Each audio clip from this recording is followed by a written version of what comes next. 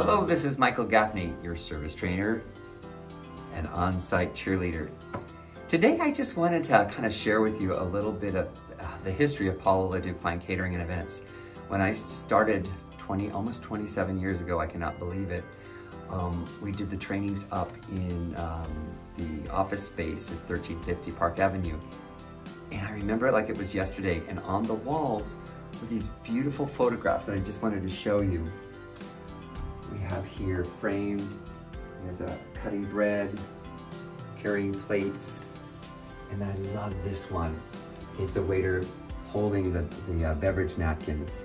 And sometimes when these were in my training center, I often pointed this out so I could show the waiters because sometimes it's hard to explain how we hold the napkins and hand them to the guest.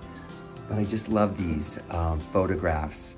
To me, it's they've been here as long as I have, and they're just so beautiful. And this one here, uh, a waiter's hand perhaps, um, fixing the napkin on the charger at someone's wedding. And I remember when I first saw it, I thought, whose wedding was that? And what was the menu? What did they have for their wedding dinner? And uh, here we have perhaps a waiter meticulously fixing their silverware beds for marking the courses during dinner service. And then I love this one, the lead bartender perhaps with their beautiful wine carriage carrying some red wine to a different part of the property.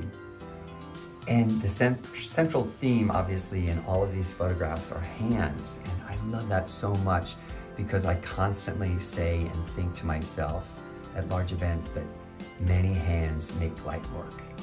And I think it's true. So when I think about our team, I think about our hands and what we create with our hands. Anyway, stop by the, uh, the office here at 1350 sometime and take a look at the pictures. Thank you so much, and I'll see you next week.